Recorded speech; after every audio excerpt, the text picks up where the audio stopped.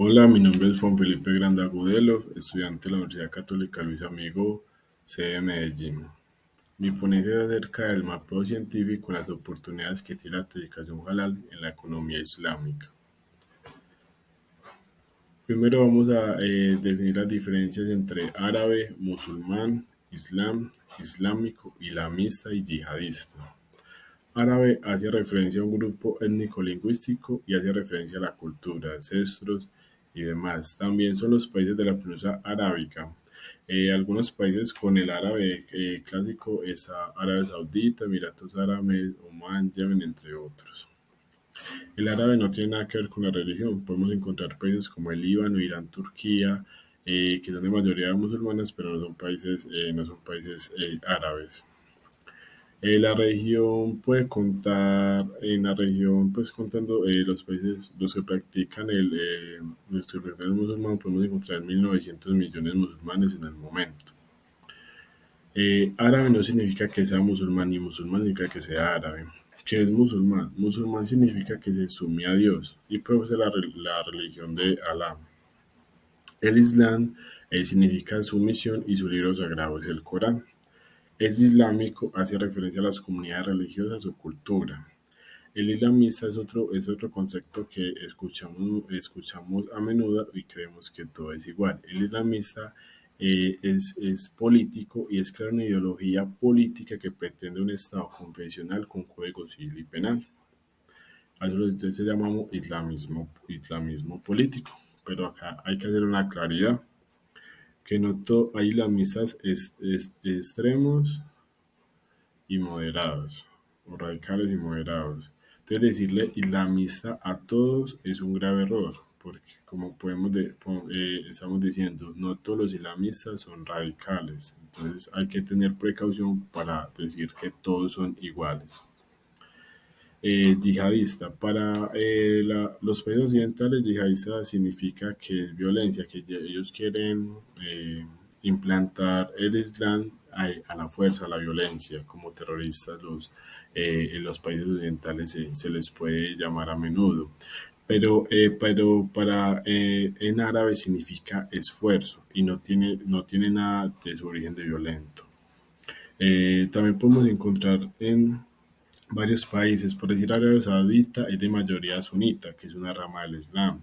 Irán, el gran vecino como es conocido, es chiita, que es la otra rama grande del Islam. Y en Oman podemos encontrar los ibadíes, que es una rama más tranquila del Islam, lo que podemos decir. También podemos encontrar musulmanes kurdos o bereberes.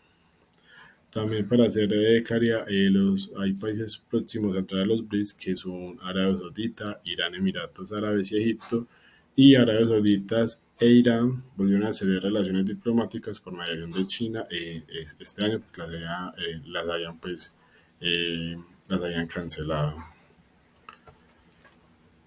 El, objetivo es el mapeo científico de las oportunidades que tiene la en la economía islámica. La banca islámica se empleó en 1960, después de la Segunda Guerra Mundial, y ese sistema tiene como un valor, un valor principal no cobrar intereses. Es algo muy extraño pues como para, para nosotros que nosotros siempre creemos que los bancos, pues no creemos que los bancos siempre cobran intereses y la banca islámica no, no cobra intereses. Entonces le, hace, le hace muy interesante. Eh, la banca islámica es la actividad que consiste en los principios de la chaira. Ellos tienen como dos tipos de fuentes en las que se basa. Primero la chaira, que es la principal, es la principal y la secundaria son los, son los, son los, es el Corán, que es el libro sagrado, la palabra de Dios. Después sigue la Sunan, que es el conjunto de, de los relatos, de los hechos y las enseñanzas de Mahoma.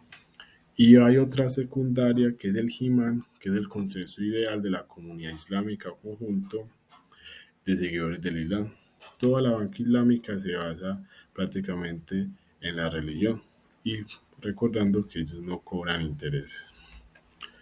También ellos tienen unos principios de economía islámica que la unidad. La unidad se, hace referencia a que la unidad es Dios, Dios, eh, Alá, Alá es el, el, dueño de todos los recursos, de todo.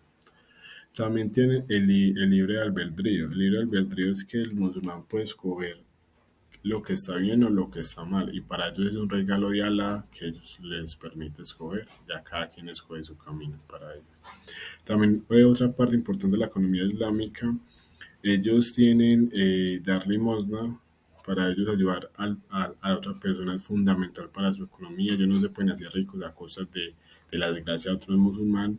Entonces para ellos es importante empezar a ayudarse en familia y después en comunidad, entre familiares y niños se van ayudando para, por decirlo de una manera, pues eh, salir adelante todos.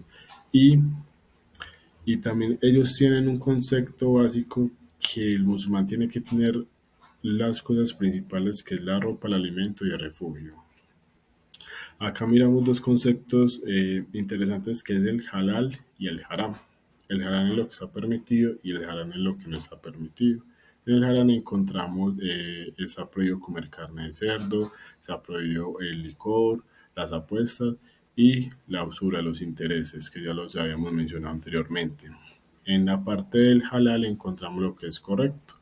La parte de alimentos del halal es una industria que aproximadamente puede tener unos 3 billones de dólares en, en recursos. Eh, tenemos pues musulmanes en, en Medio Oriente, en, en, África, en Europa. Entonces es, es, es, una, es, una, es un campo o es muy interesante porque encontramos musulmanes casi por todo el mundo. Eh, por decir en la certificación halal, en la parte del sacrificio de un bovino, lo que hacen ellos es eh, colgar el animal de los pies, de, de las patas, eh, desgollarlo con un cuchillo afilado y desangrarlo. Al momento de hacer ese sacrificio, si el que va a hacer el sacrificio, que tiene que ser un musulmán, él no menciona Alá antes de hacer el sacrificio, inmediatamente la certificación halal se rompe. No, hay, no se puede certificar. O también pasa, si ese cuchillo que va a ser, eh, el, sacrificio de un bovino eh, se mezcla con carne, eh, con carne de cerdo o otras cosas que se harán, ahí se corta toda la trazabilidad halal.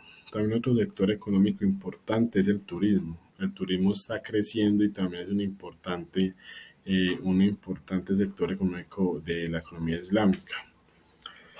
Lo que hace el turismo halal es para las familias, eh, las familias musulmanas y los hoteles tienen que tener ciertos requisitos, tienen que ser certificación halal, la alimentación tiene que ser halal, eh, los balnearios, los baños o los spas tienen que ser separados entre hombres y mujeres, no se pueden mezclar, las habitaciones tienen que estar con el Corán, tiene que haber espacio para que ellos hagan sus, sus seis oraciones al día y a las mujeres las tiene que atender una mujer. También tenemos pues, eh, en la economía islámica, también está la logística, en la moda, en la belleza, en la farmacéutica, en la banca islámica, como le hemos mencionado. Entonces, es una economía que tiene muchos, muchos campos y, y se hace muy interesante por su poder eh, económico y por su constante crecimiento. Acá tenemos pues, la, metodología que se utilizó pues, por Scopus, una revisión bibliográfica donde se, se, se los, eh, los eh, los, los, autores que siguen la aplicación halal. Acá encontramos autores de Pakistán, de Emiratos Árabes, de Arabia Saudita, de Indonesia, de Malasia. Y de acá encontramos a, Hudson, que es el que más escribe, y de, y de, este autor pues se reparte como toda la información para todos. También hay dos mujeres pues que escriben acá sobre la aplicación halal.